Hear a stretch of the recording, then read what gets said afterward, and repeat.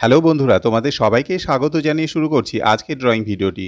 আজকের পর্বে তোমরা দেখবে শ্যামাপ্রসাদ মুখার্জির ওপরে একটি খুব সহজভাবে আঁকা পেন্সিল স্কেচ স্কেচটি করার জন্য এখানে যা কিছু ড্রয়িং মেটেরিয়ালস আমি ব্যবহার করেছি, সেগুলি সম্পর্কে তোমাদেরকে এখানে আমি দেখিয়ে দিলাম এবং এর ডিটেলসটা তোমরা নিচে ডিসক্রিপশান বক্সে পেয়ে যাবে। তো ড্রয়িংটা শুরু করার জন্য, এখানে আউটলাইন করার জন্য যে আমি পেন্সিলটি ব্যবহার করেছি, সেটি একটি চারকোল পেন্সিল তো তোমরা প্রথমেই দেখতে পাচ্ছ, এখানে আমি রাইট হ্যান্ড সাইডের চোখটি থেকে শুরু করেছি এবং এই চোখ আঁকা থেকেই তোমরা দেখবে সম্পূর্ণ ড্রয়িংটি আজকের এই ড্রয়িং প্রসেসটি আমি ফলো করেছি ফ্রি হ্যান্ড ড্রয়িং টেকনিক এখানে কিন্তু আলাদা করে কোনো মেজারমেন্ট আমি ইউজ করিনি। লেফট হ্যান্ড সাইডে যে রেফারেন্স ছবিটা তোমরা দেখতে পাচ্ছ, সেখানে দেখো, ঠিক যেভাবে আমরা দেখতে পাচ্ছি ছবিটা আছে, ঠিক সেইভাবেই কিন্তু আমি এখানে ড্রয়িংটি করার চেষ্টা করেছি। আশা করি তোমরাও পারবে, তবে একটু প্র্যাকটিসের প্রয়োজন তো আছেই। যারা চ্যানেলটিতে নতুন, এখনও বাংলারা ড্রয়িং চ্যানেলটি সাবস্ক্রাইব করনি, তারা অবশ্যই সাবস্ক্রাইব বাটনে ক্লিক করে, পাশে থাকা বেল আইকানে ক্লিক করে, অল অপশানে ক্লিক করে দেবে। তাতে যখনই আমি কোনো ড্রয়িং ভিডিও আপলোড করব, তার নোটিফিকেশান তোমরা সঙ্গে সঙ্গে পেয়ে যাবে। আজকের এই ভিডিওর ডেসক্রিপশান বক্সে আমি শ্যামাপ্রসাদ মুখার্জির বায়োগ্রাফি সম্পর্কে একটি ভিডিও লিঙ্ক তোমাদের সাথে শেয়ার করেছি। এই লিঙ্কটি আমি নিয়েছি অগ্রদূত এডুকেয়ার চ্যানেল থেকে, যেখানে বিভিন্ন রকম কম্পিটিটিভ এক্সাম এবং বিভিন্ন রকম বায়োগ্রাফি সম্পর্কে কিন্তু আলোচনা করা হয় এবং খুব ভালোভাবে সম্পূর্ণ বিস্তারিতভাবে সেখানে কিন্তু তথ্য দেওয়া থাকে। তো তোমাদের মধ্যে যারা আগ্রহী শ্যামাপ্রসাদ মুখার্জির বায়োগ্রাফি সম্পর্কে জানার জন্য, তারা অবশ্যই ডেসক্রিপশান বক্সে গিয়ে ওই লিঙ্কে ক্লিক করে ভিডিওটি দেখে নিতে পারো। তো তোমরা এখানে মূল ভিডিওতে দেখতে পাচ্ছ যে মোটামুটিভাবে চোখ দুটি আঁকা হয়ে যাওয়ার পরে এবার ওনার আউটলাইনগুলো অর্থাৎ মাথার ওপরের অংশটা এবং আশেপাশে যে সমস্ত মুখমণ্ডলের এরিয়াগুলো হবে সেগুলোকে আমি এইভাবে আউটলাইনটাকে এখানে করে নিচ্ছি। আর হ্যাঁ আউটলাইনটা অবশ্যই অ্যাকুরেট হওয়া খুব দরকার, কারণ আউটলাইন সঠিক না হলে কিন্তু মূল ছবিটাও দেখতে ভালো হবে না। আর এই আউটলাইন প্র্যাকটিস করার জন্য আমি কিন্তু অনেকগুলো ট্রিক্স এবং টেকনিক তোমাদের সাথে শেয়ার করেছিলাম আগের ভিডিওতে। যারা সেই ভিডিওগুলো এখনও দেখনি, তারা প্লেলিস্টে যে সেই সমস্ত ভিডিওগুলো দেখে নিতে পারো।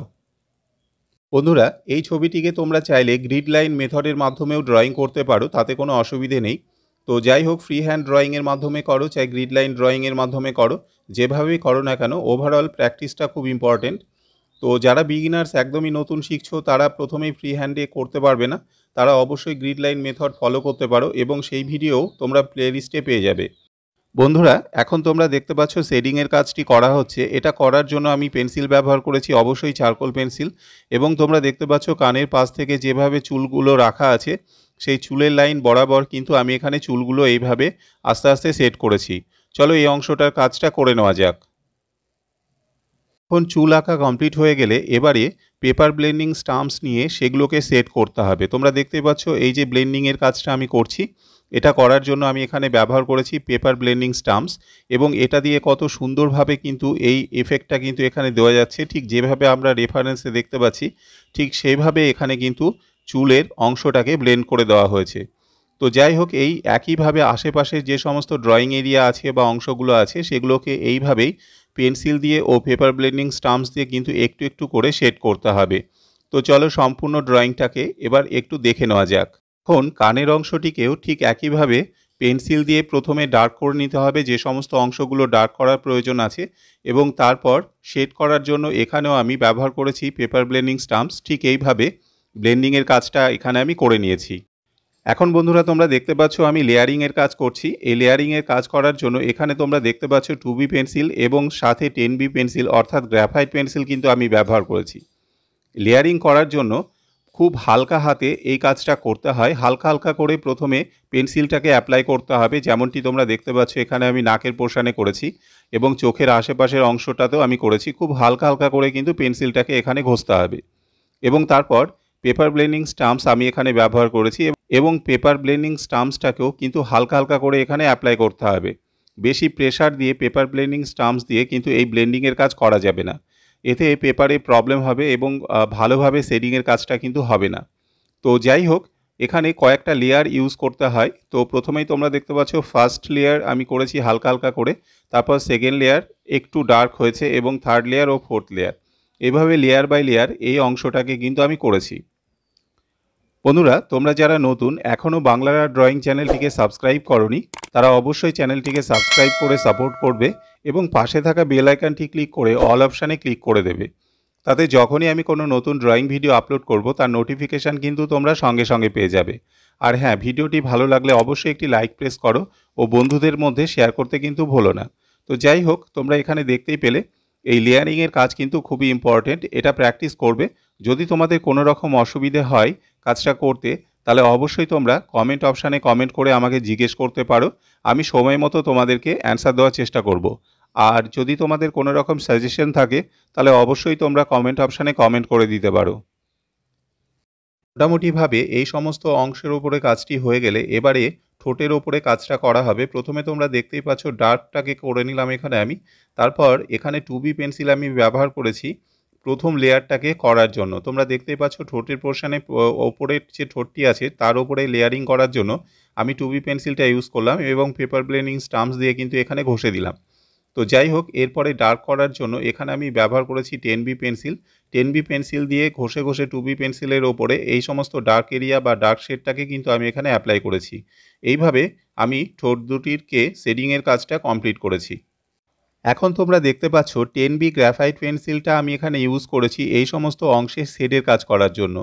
তো এই পেন্সিলটা একটু ওপরের দিকে আমি ধরেছি যাতে পেপারের ওপর পেন্সিলের প্রেশারটা বেশি না পড়ে এবং এইভাবে পেন্সিলটাকে ধরে খুব হালকা হালকা করে কিন্তু আমি এই অংশের ওপরে এই সমস্ত গ্র্যাফাইটের সেটটাকে আমি করেছি এবং পেপার ব্লেন্ডিং স্টাম্পস দিয়ে কিন্তু আমি ঘষেছি। তাতে দেখো খুব সুন্দরভাবে একটা এফেক্ট কিন্তু এসছে এখানে স্কিন টোনে। তো এইভাবে সম্পূর্ণ অংশটাকে করে নিতে হবে এবং ঠিক একইভাবে নিচে গলার পোর্শনে যেটা আছে, সেই গলার সেটটাকে করার জন্য প্রথমে আমি টেন বি পেন্সিলটাকেই অ্যাপ্লাই করছি ঠিক এইভাবে এবং আস্তে আস্তে করে এই লেয়ারটাকে করতে হবে। ফার্স্ট লেয়ার কিন্তু কখনোই প্রেশার দিয়ে করা যাবে না। ফার্স্ট লেয়ারটা তুমি যে কোনো ছবির ওপরে অ্যাপ্লাই করো না কেন, সেক্ষেত্রে খুব হালকা করে কিন্তু এই লেয়ারিংয়ের কাজ করতে হবে। ফার্স্ট লেয়ার হালকা করে করে নিয়ে তারপর সেকেন্ড লেয়ারের ক্ষেত্রে একটু হালকা প্রেশার দেওয়া যেতে পারে এবং যখন তোমার একদম লাস্ট লেয়ার হবে বা ডার্ক করতে চাও, তখন সেই ডার্ক এরিয়াতে একটু বেশি প্রেশার ইউজ করা যেতে পারে। তো এইভাবে লেয়ারগুলো কট করতে হবে এবং একটার পর একটা লেয়ার কমপ্লিট করা হয়ে গেলে অবশ্যই পেপার ব্লেন্ডিং স্টাম্পস দিয়ে সেটাকে কিন্তু ব্লেন্ড করে দিতে হবে। ঠিক এইভাবে। তো এই একইভাবে পরপর স্টেপ বাই স্টেপ তোমরা দেখতে পাচ্ছ এই সমস্ত লেয়ারিংটা আমি এখানে করেছি এবং ছবিটার যে স্কিন টোন আছে, সেই স্কিন টোনটাকে এইভাবে খুব সুন্দর করে কিন্তু এখানে ফুটিয়ে তোলা হয়েছে। তোমাদেরকে আবারও বলছি, যদি তোমাদের কোনো রকম সমস্যা হয়, তাহলে অবশ্যই তোমরা কিন্তু কমেন্ট অপশানে কমেন্ট করতে পারো। আর তোমাদের যদি কোনো সাজেশান থাকে ড্রয়িংয়ের ওপর, তাহলেও তোমরা কিন্তু কমেন্ট অপশানে কমেন্ট করে বলতে পারো। আর হ্যাঁ ড্রয়িং ভিডিওটা ভালো লাগলে অবশ্যই একটি লাইক করো ও বন্ধুদের মধ্যে শেয়ার করো। বন্ধুরা, এখানে টুবি পেন্সিল এবং সাথে পেপার ব্লেন্ডিং স্টাম্পসের কাজ করা হয়েছে। এতে কী হবে, যে সমস্ত লাইট এরিয়াগুলো আছে বা শেড করতে হবে, সেই শেডগুলোকে করার জন্য খুব সুন্দরভাবে টুবি পেন্সিল এবং সাথে পেপার ব্লেন্ডিং স্টাম্পসের কম্বিনেশন কিন্তু ইউজ করা যেতে পারে। তো তোমরা দেখতেই পাচ্ছ, এখন ফিনিশিং টাচ দেওয়ার জন্য এই সমস্ত কাজগুলো করা হচ্ছে। তো সেক্ষেত্রে তোমরা দেখতে পাচ্ছ যে এখানে পেপার ব্লেন্ডিং স্টাম্পসের কিন্তু খুব গুরুত্বপূর্ণ একটা ভূমিকা আছে। তো এই পেপার প্লেনিং স্টাম্পস তোমরা তো এতবার শুনতে পাচ্ছ যে পেপার প্লেনিং স্টাম্পস দিয়ে কিন্তু এই ছবিটা এত সুন্দরভাবে ব্লেন্ড করা হচ্ছে। তো যাই হোক, এই পেপার প্লেনিং স্টাম্পস কী করে আমরা তৈরি করতে পারি? দেখো, ভিডিওটির ওপরে আই বাটনে একটি লিঙ্ক দেওয়া আছে, সেখানে কিন্তু ক্লিক করে তোমরা কীভাবে বাড়িতে বসেই খুব অনায়াসে, সহজে এবং ইজিলি এই পেপার ব্লেন্ডিং স্টাম্পসটাকে তৈরি করে নিতে পারবে। তাহলে ওই আই বাটনটায় ক্লিক করে তোমরা এই পেপার ব্লেন্ডিং স্টাম্পসটা বাড়িতে বসেই করা দেখে নিতে পারো।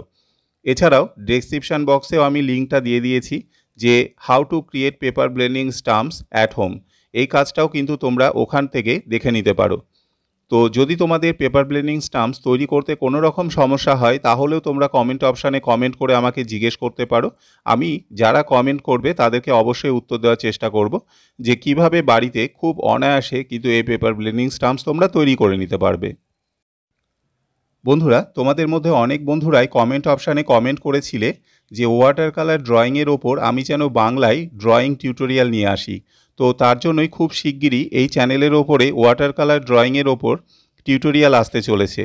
তো যারা এখনও চ্যানেলটিকে সাবস্ক্রাইব করনি, তারা অবশ্যই বাংলায় এই ধরনের ড্রয়িং টিউটোরিয়াল দেখার জন্য অবশ্যই চ্যানেলটিকে সাবস্ক্রাইব করে নাও এবং পাশে থাকা বেল ক্লিক করো।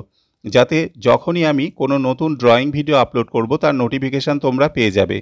তো আশা করি খুব শিগগিরই আমি ওয়াটার কালার ড্রয়িংয়ের ওপর ভিডিও আনতে পারব এবং তোমরা নেক্সট ভিডিওতেই হয়তো দেখতে পাবে যে ওয়াটার কালার আনবক্সিং আমি তোমাদের সাথে করব এবং সেখানে যে সমস্ত মার্কেটে আর্টিস্ট লেভেলের ওয়াটার কালার আছে বা স্টুডেন্ট লেভেলের ওয়াটার কালার আছে, সেগুলো নিয়ে তোমাদের সাথে আমি আলোচনা করব। তো এখন তোমরা এই ছবিটাতে শেডিংয়ের কাজ মোটামুটি প্রায় দেখেই নিয়েছো। যদি তোমাদের সমস্যা হয়, তাহলে অবশ্যই কমেন্ট করো। আর ডেসক্রিপশানে গিয়ে অবশ্যই শ্যামাপ্রসাদ মুখার্জি সম্পর্কে বায়োগ্রাফিটা দেখে নিতে পারো। বন্ধুরা, আজকের ভিডিও এই পর্যন্তই। সবাই ভালো থাকবে। ভিডিওটি দেখার জন্য তোমাদের সবাইকে অসংখ্য ধন্যবাদ।